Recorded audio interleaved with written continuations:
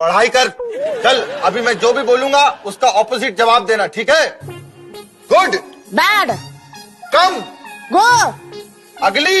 पिछली. Shut up keep talking shut up keep talking oh god oh devil बेवकूफ़. Intelligent चुप कर. बोलता रहा.